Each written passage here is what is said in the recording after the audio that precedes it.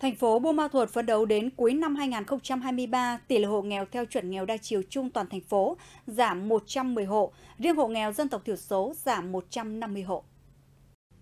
Nhằm thực hiện giảm nghèo đa chiều bền vững, hạn chế tái nghèo và phát sinh nghèo, hỗ trợ người nghèo hộ nghèo vượt lên mức sống tối thiểu, tiếp cận các dịch vụ xã hội cơ bản theo chuẩn nghèo đa chiều quốc gia, nâng cao chất lượng cuộc sống, Ủy ban nhân dân thành phố Buôn Ma Thuột đã chỉ đạo các phòng ban, ngành và Ủy ban nhân dân các xã phường tăng cường vai trò lãnh đạo chỉ đạo điều hành của cấp ủy chính quyền trong công tác giảm nghèo, triển khai thực hiện có hiệu quả các chính sách hỗ trợ giảm nghèo của nhà nước thực hiện trên địa bàn thành phố, tạo điều kiện cho người dân tham gia tiếp cận đầy đủ các dịch vụ xã hội cơ bản như việc làm, giáo dục, y tế, thông tin.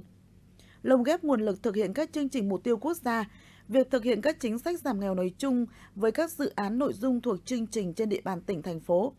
Xây dựng và nhân rộng các mô hình giảm nghèo thật sự đã có hiệu quả trong thực tế. Các mô hình phải có đánh giá cụ thể về hiệu quả kinh tế xã hội và tác động môi trường, đổi mới phương thức hỗ trợ hộ nghèo, chuyển từ hỗ trợ riêng lẻ theo hộ gia đình sang tập trung hỗ trợ theo các mô hình tổ chức sản xuất, doanh nghiệp, hợp tác xã tổ hợp tác, nhóm hộ gia đình, cộng đồng phù hợp với đặc điểm tình hình địa phương.